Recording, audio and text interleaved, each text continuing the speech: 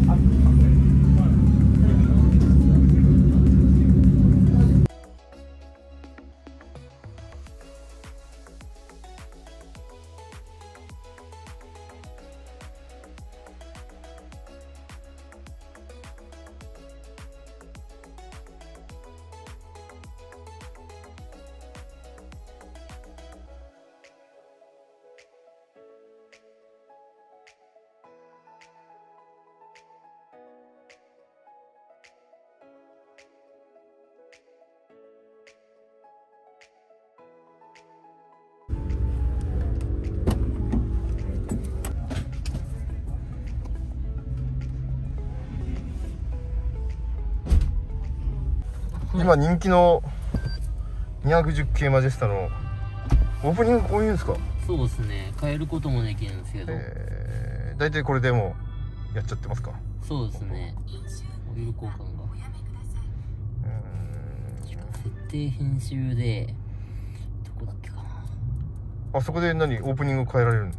どっかしらでそうですね。あこれですね。スタートアップサウンドってやつ。あー、まあ新しいねやっぱね。こういうところは。こういう風に変えられたりはあいできるんですよね。ーあいいですね。こんな感じで。で1番で今。そうですね。いいですね。臨場感ある音も。はい。ツインモニターなんですよね。そうですよね。そうですね。ね。こことここで。カラーとかもこうやって変えられたりできるんですけどなんかい赤とかいまいちなんで。見づらいですからね。見づらいですね。慣れないと多分。疲れちゃうんだね。疲れちゃうんで。あブルーでこのままなんですけど。えー、新しいねやっぱこう癖とかね。でお決まりのこれですよね。そうですこの。ねウイングがスイングスインしてグしてね。あとは？あとはシシートヒーターとかファン回ったりとか。そこでやるんですか？はいここであエアシートね。エアシート。シートはいヒーター、えー、鉱石もできるんですね。あ鉱石もそうですね。できますね。鉱石は鉱石で。まあ向こうでもできると。はい。あとはあスポーツモードとかもあるんですかあありますね。うん。全開だパワーはね。そうですね。やっぱこここれの方がうん。速く走れますね。あ全然違いますか？全然違いますね。普段何スポーツですか？いや普段エコでエコで。高速乗る時とか走り出しとかあ結構スポーツモードの方が速くいけるんで。ーあー全然違うんだ。全然違いますね。へえこの辺はあれな代わりなんだそうですね。なんかスポーツだとなんかトルクが全然違くて最初。エコーだとどうもなんか抜けてる感じしてなんかふんまあ抑えちゃってるね。はい良くないんで、ね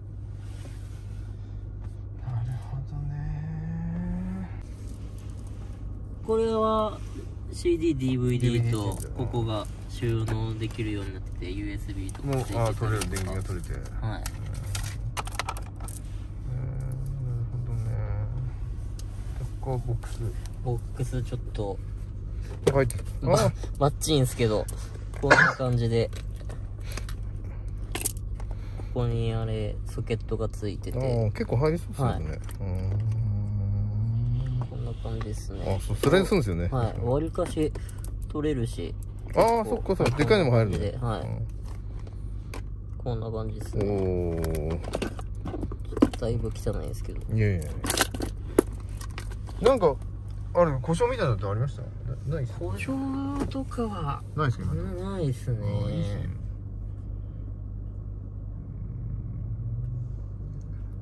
サンルームもついてるしね。そうですね。ね。いいですよね。フルオプションに近いんですかねこそうですね。見つけてもらって。れうん。ハンドルもいっぱいあるよね。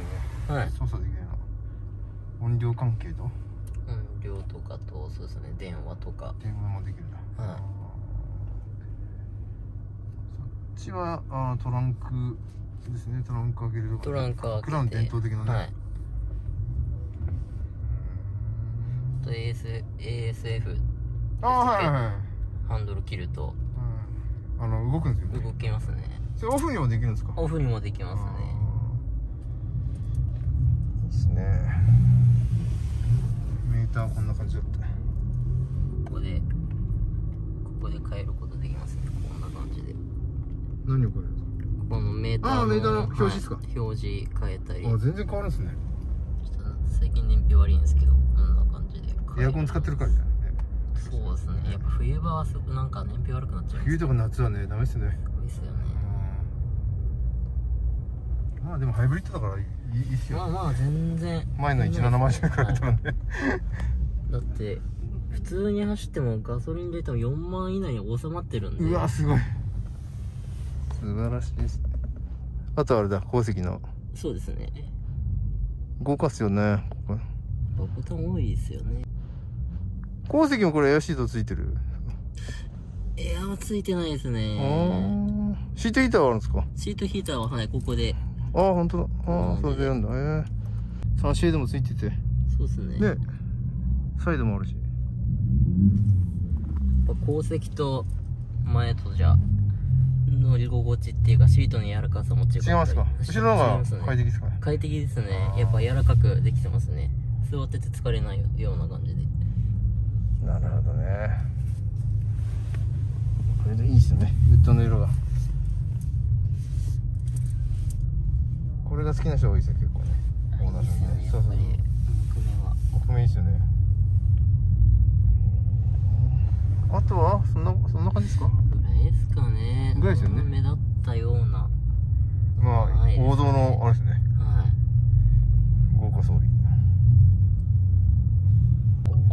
カスタムかなんかするんですか？うーんまあ変えてホイールぐらいかな。ってそんないじって乗りたくないんですよね。乗り心地もいいし快適なんで。それがまあ間違いなく崩れますからね。